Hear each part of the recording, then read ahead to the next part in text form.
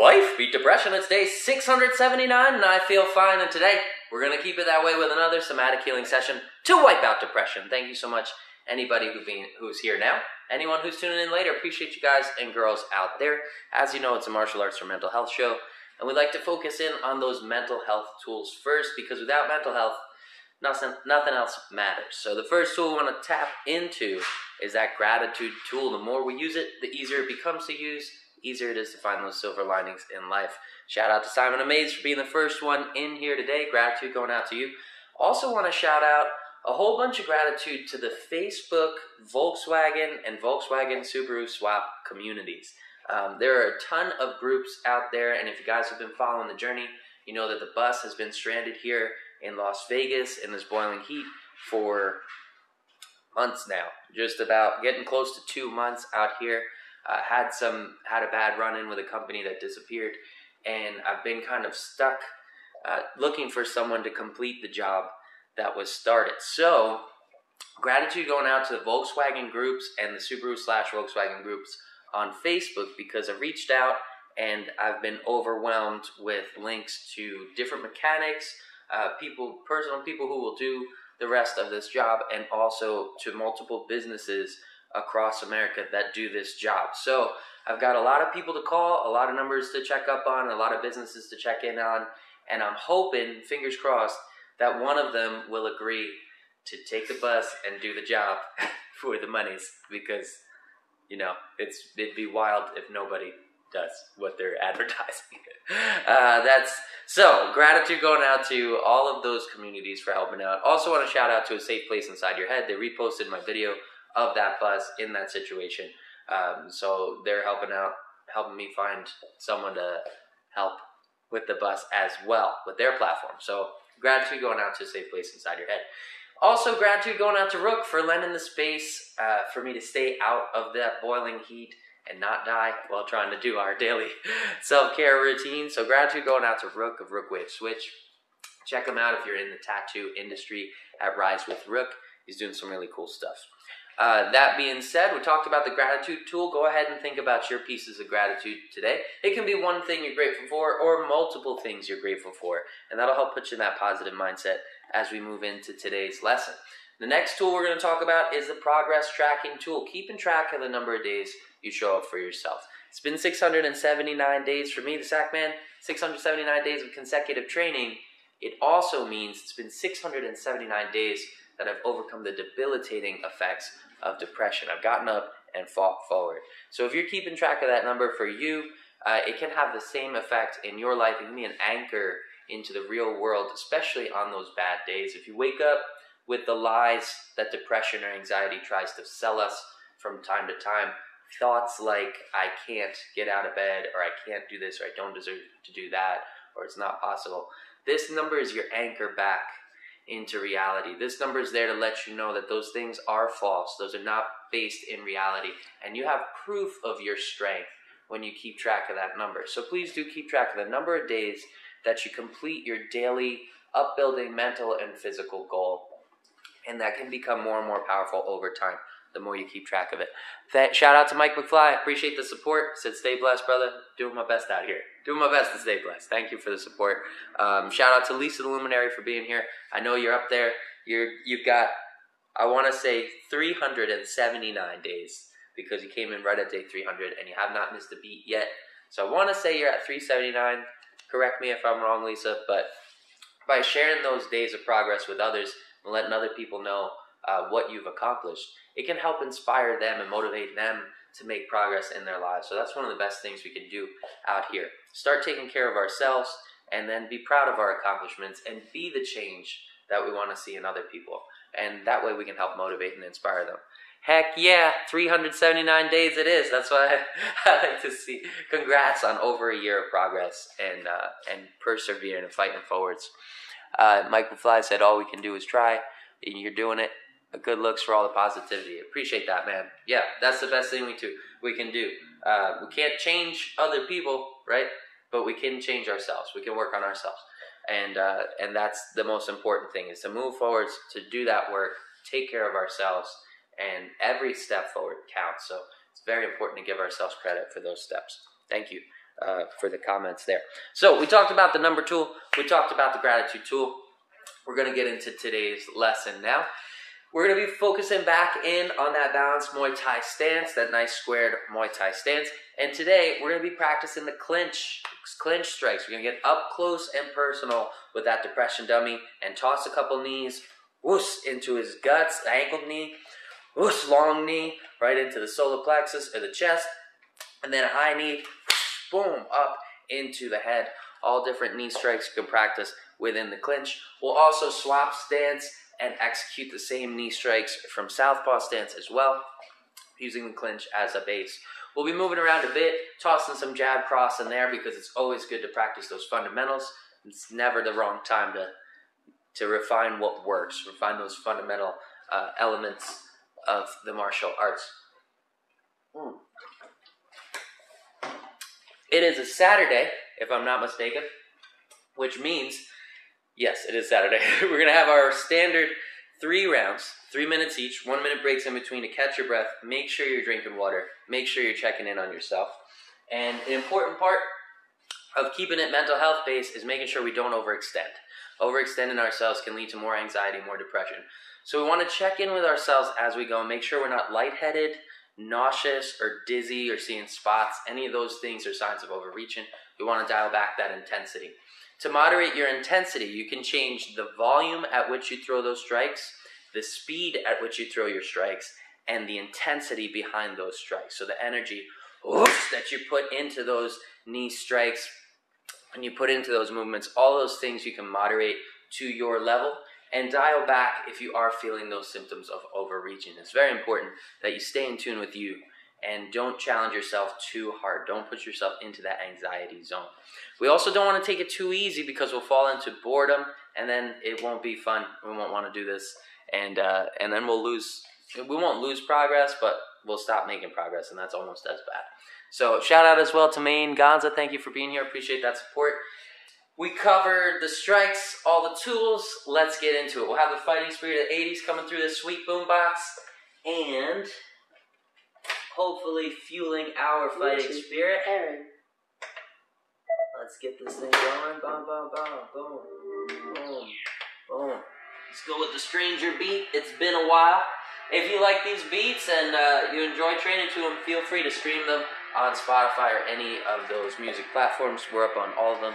Just search uh, SackLifeOfficial.com as the artist. Let's do it. Square up with that visualized target, that visualized depression dummy. Remember, assign it the word of the thing you want to work on. And we're going to start by just stepping into a little jab cross action. Let's do it. Square up the hips and shoulders. Get into your balanced Muay Thai stance. Guard high by the brow line. And start moving around, shifting that body weight forwards and backwards. Using the hands to carry that rhythm, right? Roll. You can roll those hands as you step forwards and backwards in your stance. And we're gonna step in for one, two, whoosh, whoosh. Turn through the body, through the hips, rotating on the ball of each foot.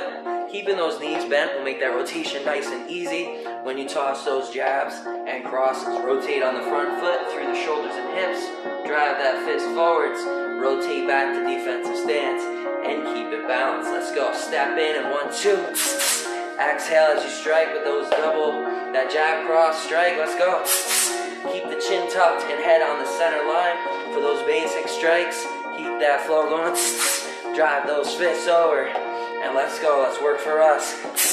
Exhale hard as you drive those fists forward, turning those wrists, turning that fist over, keeping the wrist straight, tucking the chin into the shoulder for defense. And we're going to start working on that clinch. For the clinch, we're going to step in with the lead hand and scoop around the back of the neck. Re-support with the opposite hand and then drive that head down towards the armpit. Pulling that head down and in, we're to send the knee that's loaded, that rear knee, straight forwards. Whoosh, boom. Exhaling hard and driving that knee whoosh, into the guts of that depression dummy. Back into guard, back into stance. Step forwards for a jab cross. Right down the center line. Exhale hard. Keep that guard high. Chin tucked. Hit that depression dummy right in the face. Let's go. Visualize that dummy and visualize doing damage to it when you toss those strikes. Visualize making contact with the nose, contact with the chin, and rotating back into position. Keep it moving, stay on your toes.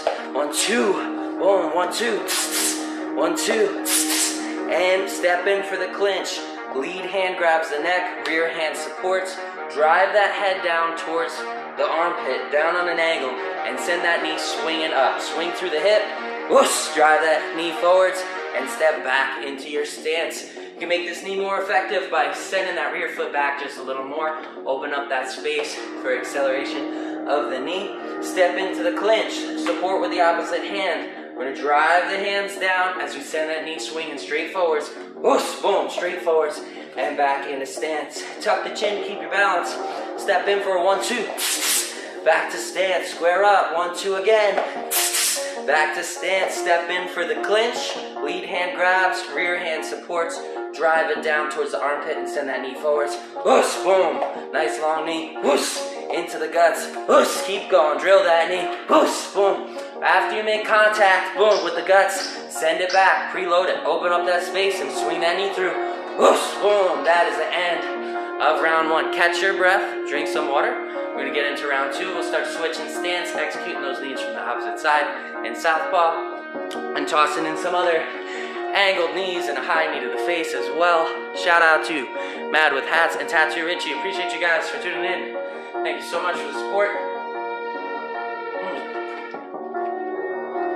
We got 37 seconds and we're gonna get into the next round. We're talking about the clinch strike today. It's a great close range move. It's a big difference between boxing and Thai boxing, boxing and Muay Thai. Muay Thai doesn't end when you get tangled up. You notice a lot of times boxing rounds, they're going at it, and then when they get close, they wind up tangled, and that's the end. But with Muay Thai, we keep going with the clinch. That's where that clinch comes in. Bing, bing, late, but bing, bing, and it's good to see you, man. With that, thanks for your support. We got seven seconds. We're gonna pop back into modern balance Muay Thai stance. Square up with that visualized target, and we're gonna step in for the clinch. Lead hand goes around the neck, rear hand supports, and we're gonna drive that head straight down. This time we're doing a straight knee right up into the face of that depression dummy.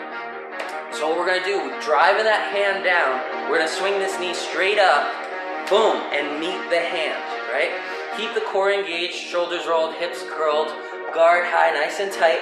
Step in for the grab, re-support with the other hand, and now we're gonna shift that body weight. Sending the body weight onto the front foot, we're gonna send the knee swinging, boom, straight up, almost like a jump, boom, drive that knee up, drive the hands down, and you can use the palm of that hand as a contact surface here to practice this technique.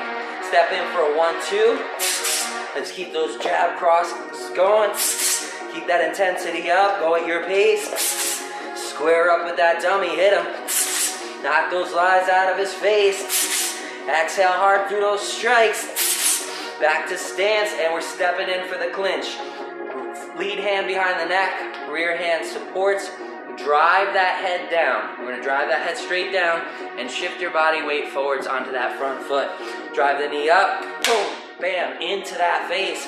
Boost, do it again, back to stance. And as we shift our weight forwards, we're gonna lift on that front calf. Lift on that calf for a little extra height and swing that knee through the hip. Boom, there it is, back to stance. Boom, there it is, back to stance. Boost one, boost two, boost three, boost four, boost five, boost six, boost seven, boost eight, boost nine, boost ten, and back to stance, square up. Hit them with the one, two, boost, boost. Back to stance, exhale hard. Through those strikes, inhale through the nose, exhale through the mouth, back in. And we're gonna step into the clinch, but this time we're gonna reverse into southpaw and preload that opposite knee. So start in orthodox, reach around the neck, support with the opposite hand. Now, if you've been doing this for a while, you're expecting that leg, we're gonna swap the legs. Hop the feet, preloading the opposite leg, and now we're gonna drive the head down, send the knee forwards on the opposite side. Whoosh, boom, right there. Driving the head down towards the armpit, send the knee straight forwards, whoosh, into those guts, and back to stance. Chin tuck for balance. Practice a little more in southpaw position. We got our clinch. Whoosh, boom, there it is. Slide that rear foot back. Give it more room to speed up. Do some more damage. Whoosh, boom, and back. Whoosh, and back. Whoosh, and back. Exhale as you send that knee through the guts. of that depression dummy. Whoosh, boom. Exhale hard. Whoosh. There it is. Back to stance. Square up into orthodox. Toss a couple jab cross. Back in. Back in. And that's the end of round two. Catch your breath. Drink some water. Oh, that's my I'm going hard sound. uh, bing bing, that's a new sound for strikes. Yeah, uh, sometimes, oos, you see them use that uh, that noise. You can vocalize with any noise if you'd like. Um, vocalization can have the same sort of effect as that exhale, activating the core, activating those core muscles, transmitting more power. So it's not for nothing. Whatever comes out, comes out. You know, get that somatic release.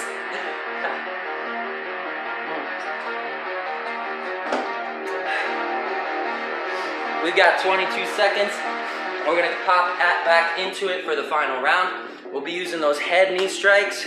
We'll be using the long knee, whoosh, to the guts. And I think we'll save the angled knee for next time. We're gonna pop into southpaw as well, execute some head knee, boom.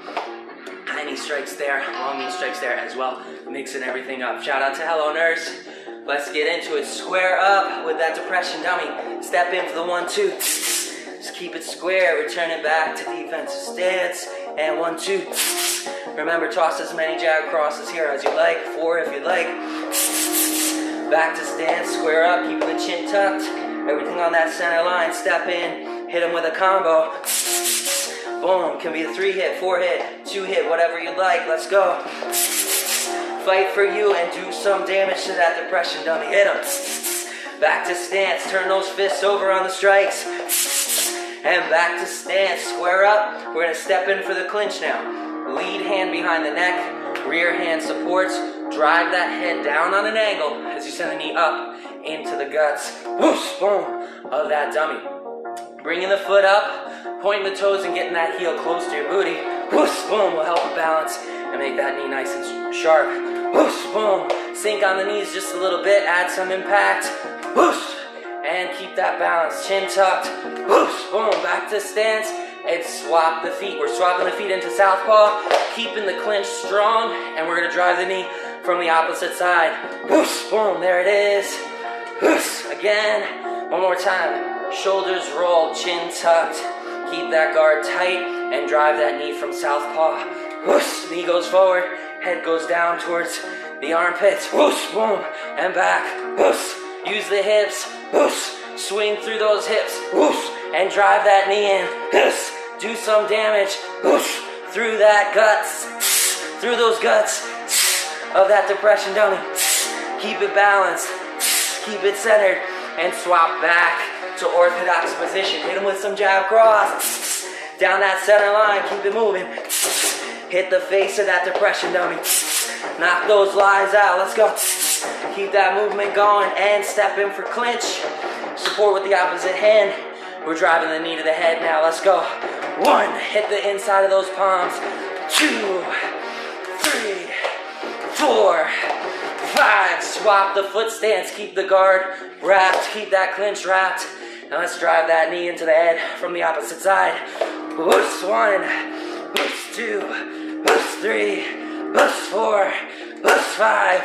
Swap back to orthodox position and hit him with some jab cross. Down the center line, keep it moving. Work on that vertical, work on that horizontal. Step in and out, keep it moving the whole time. Drive those combos, let's go. Fight at your pace, keep it moving. Step in for clinch and drive the knee to the head. Boom, swap the feet, drive the knee to the head. Boom, back to stance. And that's the end of round three. I hope that you guys challenge yourself to your level. I hope you put in that work and found room to grow as we develop and sharpen our skills and empower ourselves with different weapons that we can use in our training routine. Woo! And as always, try to find the ones that you enjoy most and turn it into a creative session for yourself. Make sure you're pushing yourself to your level, giving yourself that challenge. Challenge is the only way we'll see growth out here. And if you missed the first half of this lesson, you can catch it at your own time, at your own discretion, on Sack Life Daily on YouTube. If you're having a good time and you're feeling it, please let the world know uh, on Sack Life Daily at YouTube. That way, we can help empower others with tools that work and could possibly work for them. Until next time, Mad with Hat said, I pushed hard, got a sweat going. Good stuff. That's what it's about, putting in that effort. You can guarantee yourself the reward and remind yourself of how strong you are and how capable you are every day. No matter if it's one step you took forward or three steps or ten steps, give yourself credit for that progress. Until next time, I'll catch you guys same exact time, same exact channel, same sack life. Sack Man out.